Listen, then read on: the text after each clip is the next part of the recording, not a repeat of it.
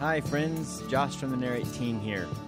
For our Christmas Eve gatherings, Adam reflected on the original Christmas story as told in the Gospel of Matthew. Adam talked about how the plans of Joseph and Mary were drastically interrupted and how they managed themselves through those developments and changes. Christmas Eve started for Narrate a series titled Merge, which will be a conversation on balancing willingness with being surrendered.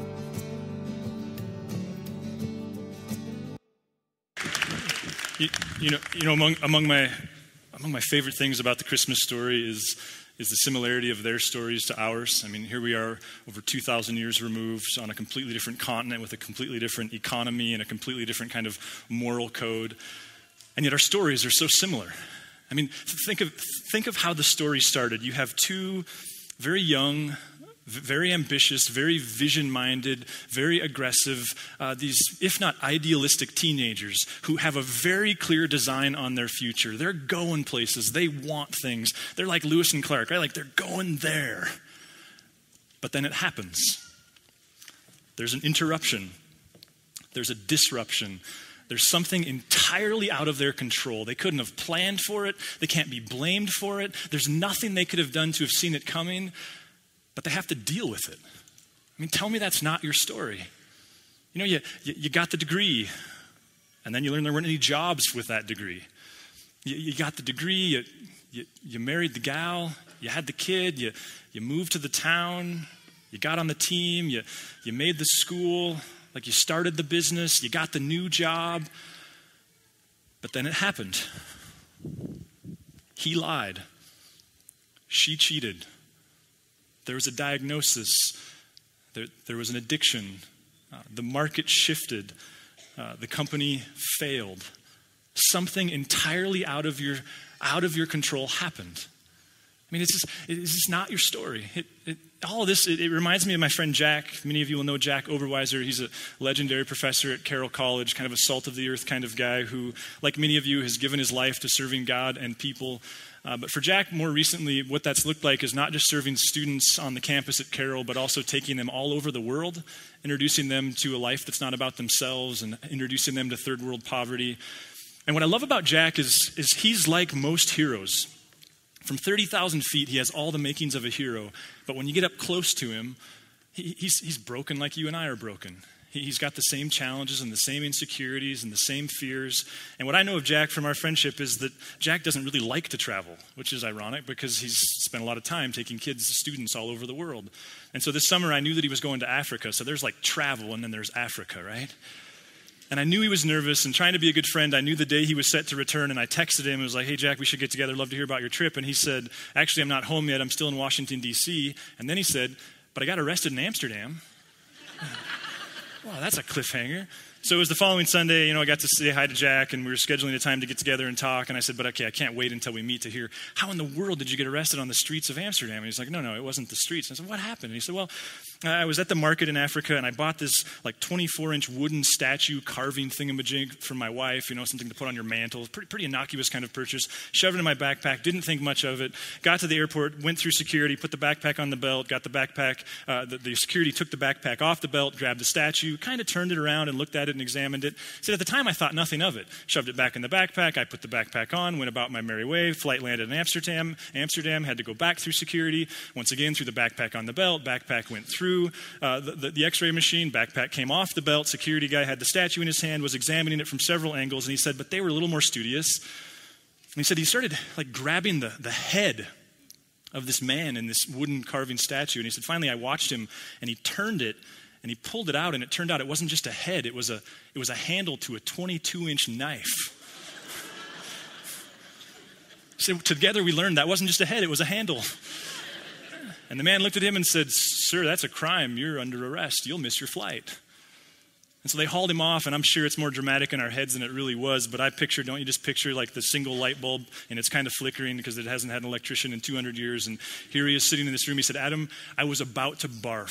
He struggles with anxiety like many of you. He said, I, I didn't know what I was going to do. Finally, the guy looked at me and said, You didn't mean to do this, did you? He said, No. And they said, Well, how about you just leave it with us? And he said, Deal. but tell me that's, that's not your story. In fact, uh, we could be cynical, couldn't we? Because it's, it's not if something's going to go wrong, it's, it's when. And yet, I wonder, despite what we know intellectually, despite what we know academically, despite what we know in the safe confines of the Helena Civic Center, I wonder if our lives reflect that. I wonder how many of you are like me, who, if you were to be honest, despite what you know, you live over here. And you are bound and determined to control everything. And I wonder for how many of you uh, people say behind your back what they say behind mine. He's a control freak. And I, listen, I, I don't want to trivialize clinical depression or anxiety. I wonder for how many of you, you your, your body is sick with anxiety because you are terrified of those things you can't control. You, you know things are going to happen, but you've set out in business and relationship to make sure they don't. I wonder for, for how many of the, there's not just anxiety and, and fear, but if you really live here, you're a lonely person. Why? Because because we can control our kids for a season, but not forever. And people don't like to be controlled, numbers do. And slowly but surely, people leave your life.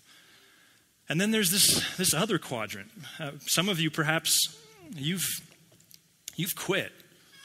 And it's not that you're trying to control everything, you're trying to control nothing. And maybe it's clinical depression, maybe it's not, but nonetheless, you're a victim. In fact, you can't stand to other, see other people succeed because you didn't. Your marriage didn't. Your business didn't. Your health hasn't. And probably you're bitter. Certainly you're jaded and cynical. And sadly, you're probably just as lonely because healthy people don't hang around negative people. Toxic people do, but not, not thriving ones. And I guess the question that I want to pose to us th- th- this morning is what, if part of the gift of Christmas is a God who, in his grace, comes alongside Emmanuel and says, Let me teach you how to merge these two things? Not neither, not, not just one or the other, but both. What if healthy people, joyous people, people who make an impact, people who fulfill their desires for purpose, to contribute to the common good, to be connected to God beyond their wildest imagination, what if what they learn to do is not to never have plans? And of course they have plans and not to hope for bad things to happen. Of course they don't. But to merge those two things. You know, Mary and Joseph, their, their story, the part of it we know is it's, it's this one over here. The part about riding on a donkey and giving birth to the Messiah, the part about that Messiah being the King of Israel, the part about Jesus, the Messiah, completely reinvigorating our understanding of God and who He is and what He likes and, and what He wants from us. That the part of Jesus, that, that the part of the story that gives birth to the Messiah who would go to the cross and, and pay all of our penalty for, for our own garbage, that the one who would walk out of the tomb mostly uncelebrated at the time. Nobody was standing out there going 10, 9, 8. Like it was, he was alone but he was victorious. That's the part of the story we know. But I guess here's what's been messing with me. Can we appreciate that this part of the story was only made possible because they merged these two aspects of the story? That they, like you, they wanted things, and then they had to adjust. And though it might sound trite, they ended up with something far different, far less predictable, and far more impactful than anything they went looking for. For just a moment, I promise we're going to let the band come back out because I know that's why you're here. that's why I'm here. I guess the question I want to ask is how are you at merging? See, the hard thing about merging is it's not one thing, it's two. Can you do that, like tap on your head, do that thing? I can't do it. I can't even clap and sing at the same time. Merging requires two simultaneous skills, doesn't it? Because you have to be ambitious. You have to have drive. You have to want things. You have to have designs for the future. And Mary and Joseph, they, they were like that. These are not two teenagers sitting on the porch waiting for God to show up and give them something to do. These were two ambitious people with strong opinions about God and their future and their retirement and what they were going to drive. They had lots of plans. It's all over the story. They were willful. And in fact, every story in God, every person in God's story has been willful.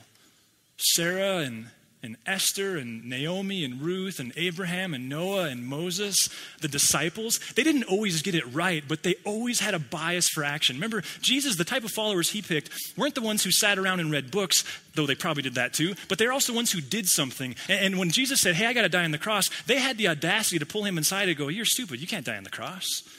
They, they were willing to get it way wrong, but they weren't willing to not be willful. They, were people, these Joseph and Mary, who, who wanted things. And you know something?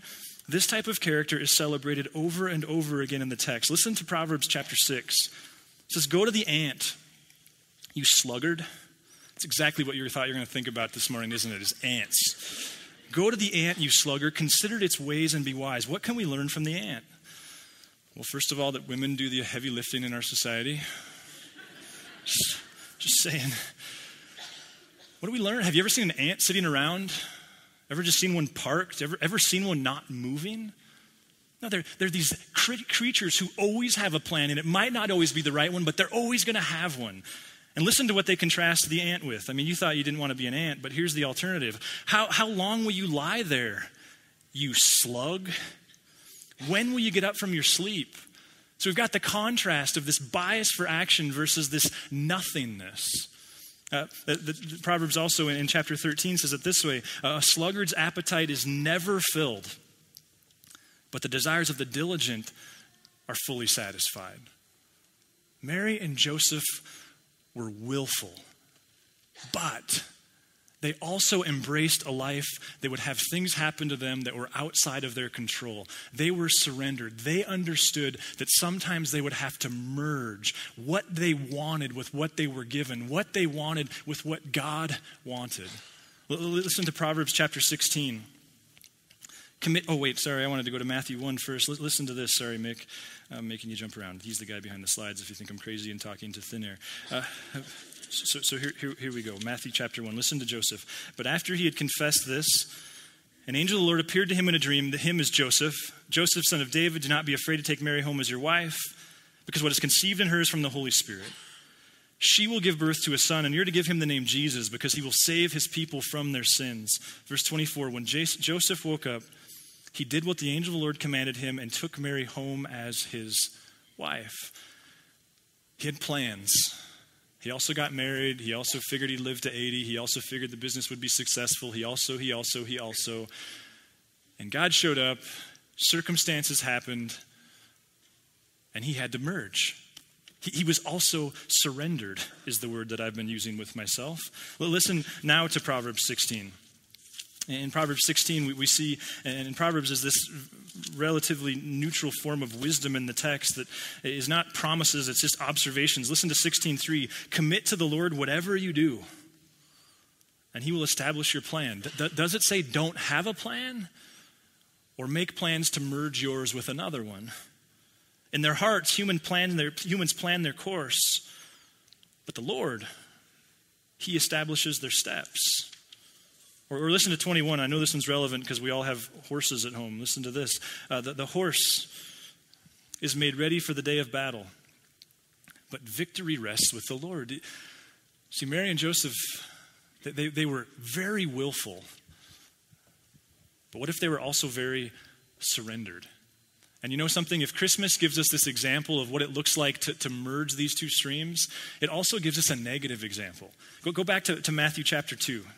Come with me to Matthew 2 and listen, because there's also a, an example of what happens when we're not willing to do this. Listen to chapter 2, verse 1. After Jesus was born in Bethlehem in Judea during the time of King Herod, Magi from the east came to Jerusalem. And they asked, Where's the one who's been born king of the Jews? We saw his star when it rose and have come to worship him. That's good news, right? Not for Herod. When Herod heard this, he was disturbed, and all Jerusalem with him. Why was he disturbed? Well, what we know historically is Herod had spent lots of energy and money trying to convince Israel he was their king. It's why he built them a temple. We also know uh, that it didn't go so well for Herod. What, what is this with all Jerusalem? Well, that, that's the comfortable elite in Jerusalem who rather liked the life the Romans were providing. See, see, Herod, the Jewish establishment, Mary and Joseph, they all had something in common. They all had strong opinions about how life ought to go, about the direction the business ought to go, on what they hoped for and wanted. But where their, part, where their paths, where they split, is Herod and all Jerusalem, I want to suggest to you, that their lives were ruined by their insistence upon a certain outcome. They had every opportunity to merge their understanding with this brand new opportunity, and they said no, and they were ruined by it. Mary and Joseph, on the other hand, guess I want to suggest they took a deep breath, something we'll talk about in a couple Sundays. both literally and figuratively. They caught themselves. They caught themselves in conflict with what they wanted, with what life was giving them.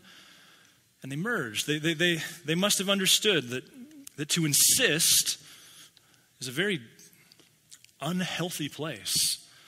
You don't sleep, you're racked with anxiety, you're lonely. That they must have understood that, that they would have to merge. But it's not one, it's both. You know, I had my own epiphany here this last August. I don't know what caused it. I'm sure a conflict somewhere because one thing control freaks aren't very good at is relationship. And I had this realization of Adam, you spent the first 36 years of your life believing that life works best when you control its every outcome. And let's be clear, I still basically believe that. It's the doing that is the hard part.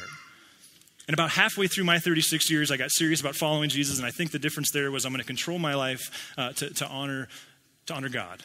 But still, the, the belief was the key is this like, make it happen the way you see that it happened. That the question of making, make, making what's outside of me look like what's inside, like what I'm supposed to, what I think is supposed to happen, that was the goal. And I had this realization Adam, what if you spent the next 36 years?